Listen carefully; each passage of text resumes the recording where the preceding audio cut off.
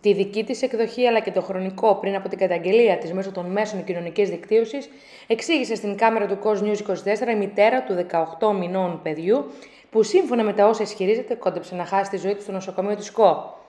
Η κυρία Τζέσικα Ρόμπερτς, μέσω ενός μακροσκελούς κειμένου που δημοσιοποίησε στα μέσα κοινωνικής δικτύωσης, κατήγγειλε το νοσοκομείο αλλά και τους ε, περιθάλπτοντες γιατρούς.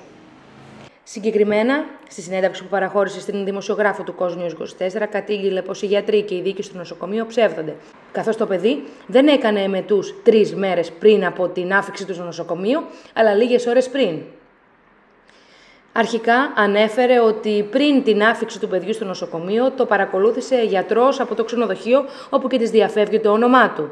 Ο συγκεκριμένος γιατρός του συνέστησε το παιδί να μην φάει και να μην πιει για δύο συνεχόμενες ώρες, όπου και ακολούθησαν πιστά τις εντολές του.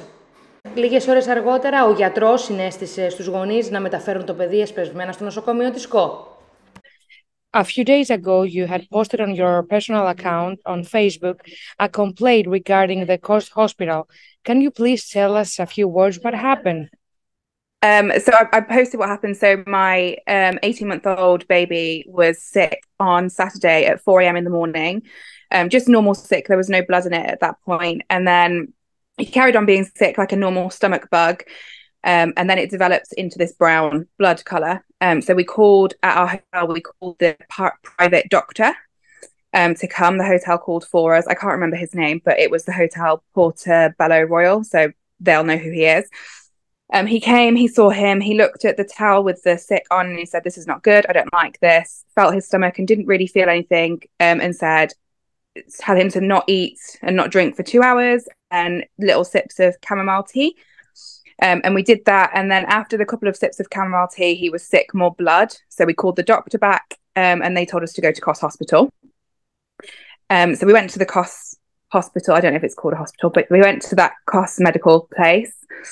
Um, so and that's when. As a hospital. Sorry? You don't call it as a hospital, you said. Um, I I don't know if it is if it is your hospital, but that was the place we were sent to. Yeah, it um, yeah. Okay, um, so we went there and they saw him pretty quickly. Um, and I saw a nurse at first. Um, and then we were sent back out and they tried to do blood tests, but they couldn't get a vein um, because he was dehydrated. So they did an x ray and um, said he was constipated and that it was not blood. And then they re- the the doctor refused to look at the towel with the blood on it. She wouldn't she wouldn't look at what we brought to show her. Um she said then they, they got blood tests um, and they said that it's not blood he just needs a drip. So eventually they got the drip in. I think it took 10 10 attempts to get the vein in his arm t- 10 needles um, they got it in and she said it, he's just constipated um, and shouted at me that there was not blood i kept trying to show her this towel with the sick on um, and she was saying it's poo. Um, obviously, he was on a drip at this point, and she basically said his drip is until 11 and you'll go home. I'd go back to the hotel at 11 p.m. once his drip finishes. And at around I don't know, around 9 p.m. He did, um, they gave him an, uh, sorry, in the day, they gave him an enema and she said there was no blood in his poo. Um, I've got a picture of the poo that he oh, did. So the thing that you just uh, just told me right now is that you push the doctors to check them twice, to check the baby twice. Is that correct? Yeah. Yeah. And I, I had the, the towel stick on that had blood in it and she wouldn't look at it. She refused to look. She wouldn't see what it was she said it was not blood it was poo he's constipated i i interviewed the doctor yesterday and she told me uh, that you are lying and nothing happened like that like you describe I don't understand. I don't even know why she would say that. I've literally, I haven't even spoke about the doctor directly. I've just told my experience and what happened to my child. Um, so I don't, I don't know. And I'm sure they are trying their best but unfortunately it's it's just not it's not good enough. And maybe i was ignorant to not look into hospitals and how they were in cost because i didn't know. Um but yeah it so you think that they are they did the, their best but the hospital wasn't good the hospital was horrific. It was horrible. Um, I think she misdiagnosed him with constipation, and we were just lucky that he threw up blood and pooed blood while we were there. And that's the only reason we were transferred to Athens. If he hadn't have done that, she would have sent us back to the hotel and he would have died. So, what happened to the kid? Uh, the doctor mentioned that he was uh, sick three days. No, he, he started being yeah, he started being sick at 4 a.m. in the morning. We were at hospital the same day at 3 p.m. after seeing the private doctor in the morning. He wasn't sick three days. He wasn't throwing up three days before your arrival. no, it was, no, it was hours. It was hours. Okay. Do you want to mention anything else? Um, I well, um, Athens were absolutely amazing. Once we got there, they've done everything they could. They stopped the bleeding were fantastic. Um, I just hope people research medical care, tourists research medical care because I nearly lost my baby because of you know negligence and and poor treatment.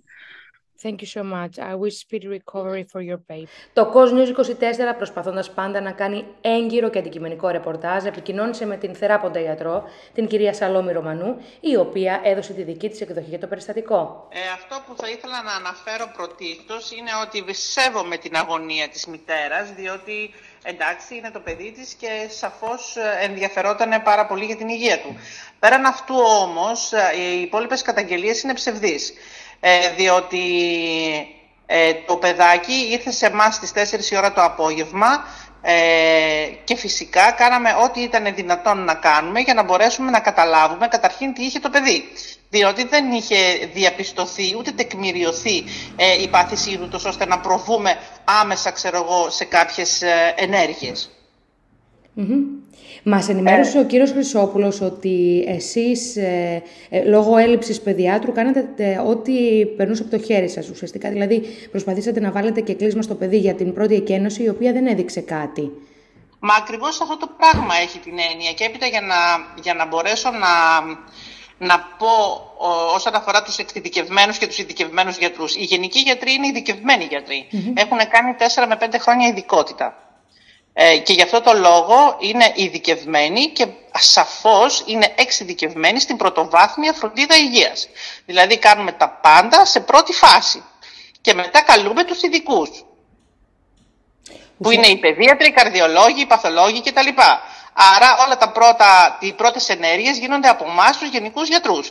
Εμείς κάναμε τα πάντα. Βάλαμε, το, το, το ενυδατώσαμε, κάναμε κλείσμα γιατί από τις ακτινογραφίες είχαμε κάποιες ενδείξεις. Η πρώτη και ένωση ήταν φυσιολογική. Παρ' όλα αυτά το παιδί παρέμεινε μέσα στο νοσοκομείο για να ενυδατωθεί.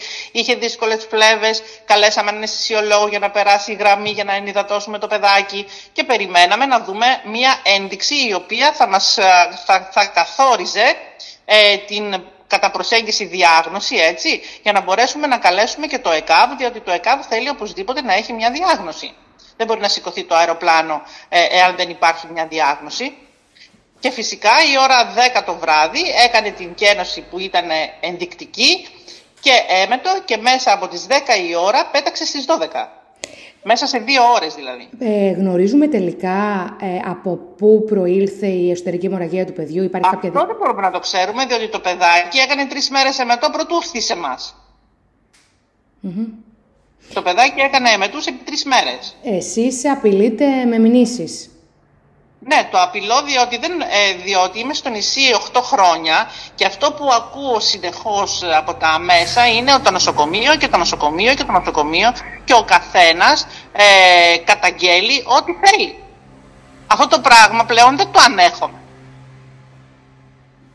θα πρέπει οπωσδήποτε κάποιες φορές κάποια πράγματα να μπουν και στη θέση τους. Ναι, σαφώς έχουμε λιγότερους γιατρούς, έχουμε από αυτούς που θα θέλαμε να έχουμε, αλλά αυτό δεν σημαίνει ότι οι γιατροί οι οποίοι υπάρχουν δεν κάνουν καλά τη δουλειά τους. Αυτό πρέπει να διευκρινιστεί επιτέλους. Εν συνεχεία, το News 24 επικοινώνησε με τον διοικητή του νοσοκομείου, τον κύριο Ηλία Χρυσόπουλο. Πάμε να δούμε τα όσα μας είπε για το γεγονός.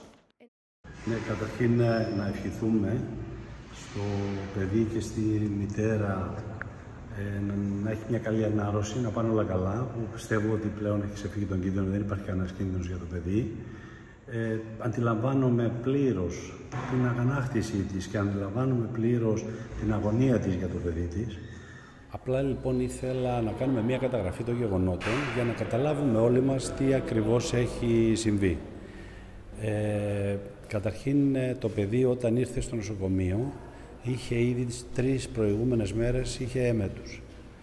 Ε, η μητέρα προφανώς έκρινε ότι δεν χρειαζόταν να το φέρει στο νοσοκομείο και είναι λογικό εξάλλου πόσες φορές παιδάκια κάνουν μετούς ή έχουν κάποιο πρόβλημα με πυρετό κτλ. Και, και το προσπερνάμε.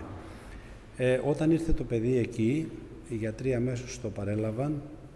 Ε, η μητέρα το έφερε στις 4 ώρα το απόγευμα της ε, Κυριακής. Οι γιατροί το παρέλαβαν και έκαναν τις απαραίτητες εξετάσεις. Από τις απαραίτητες εξετάσεις δεν προέκυψε κάτι. Ε, μάλιστα προσπάθησαν να δημιουργήσουν, αν το θέλετε, και κάποιο ε, να, του κάνανε τέλος πάντων ένα κλείσμα για να δημιουργήσουν κάποια κένωση στο, στο παιδί για να δουν αν πραγματικά ε, είχε αίμα. Ε, η κένωση ήταν κανονική, δεν υπήρχε κανένα πρόβλημα, δεν φαινόταν να μην υπάρχει κανένα πρόβλημα. Μόλις όμως αντιλήφθηκαν οι γιατροί ότι κάτι δεν πάει καλά, αυτό έγινε γύρω στις 10 η ώρα το βράδυ, αμέσως πήραν το παιδί, το διασωλήνωσαν και το διεκόμισαν στο νοσοκομείο, στο νοσοκομείο των Αθηνών. Είναι σημαντικό και πρέπει να το καταγράψουμε ότι η διακομιδή έλαβε χώρα από τις 10, έγινε δηλαδή στις 12, που θεωρώ ότι είναι χρόνος ρεκόρ για αεροδιακομιδή. Θέλω λοιπόν να πούμε αυτό ότι οι γιατροί κατέβαλαν κάθε δυνατή προσπάθεια, έκαναν ό,τι μπορούσαν και το αποτέλεσμα είναι θετικό. Ε, παιδίατρος δεν εφημέρευε στο νοσοκομείο μας εκείνη τη μέρα, οπότε κάποιος παιδίατρος δεν το είδε το παιδί. Ε, όλη η διαδικασία έγινε από την εφημερεύουσα ιατρό, τη γενική ιατρό, την κυρία Ρωμανού και από τον αναισθησιολόγο μας, τον κύριο Σανιδά. Έχετε δει καθόλου εσείς την ανάρτηση της μητέρας του παιδιού; Ναι, την έχω δει. Την έχω δει και σας είπα, καταλαβαίνω την αγωνία και αντιλαμβάνομαι Πραγματικά το, το, το φόρτο και το άγχος, έχω δει την ανάρτηση, μίλησε, μιλάει για συμπεριφορές, μιλάει για, τέλος πάντων δεν ήμουν εκεί, δεν μπορώ να κρίνω, δεν ξέρω εάν όντως η συμπεριφορά δεν ήταν η αρμόζουσα, αλλά αυτό που επαναλαμβάνω και τονίζω είναι το πιο, και το πιο σημαντικό και ουσιαστικό είναι το παιδί είναι καλά, Ευτυχώς που έγινε η αεροδιακομιδή, το παιδί διακομίσει στο νοσοκομείο, είναι μια χαρά. Ευτυχώς που οι ιατροί το παρέλαβαν στις 4 ώρα το απόγευμα, το έβαλαν στη βραχία νοσηλεία, ε, το ενυδάτωσαν κτλ. Και, και όλα πήγανε μια χαρά. Υπάρχει κάποια εξέλιξη για τις κενές θέσεις που υπάρχουν αυτή τη στιγμή στο ιατρικό προσωπικό στο νοσοκομείο; Ναι, αναμένουμε μία απάντηση από κάποιον παθολόγο.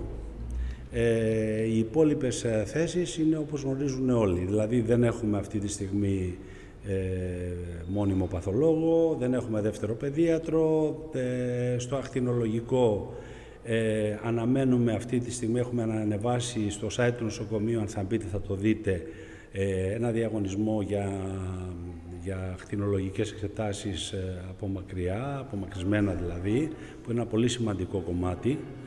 Ε, αλλά όμως κάνουμε για κάποια βήματα θετικά. Δηλαδή, για πρώτη φορά λοιπόν στην ΚΟ ε, ξέρετε, το νοσοκομείο δεν είναι μόνο προβλήματα και τυχόν ε, ανακατοσούρες, θα έλεγα, ας μου επιτραπεί να χρησιμοποιήσω αυτή την έκφραση, έχει επιτυχίες.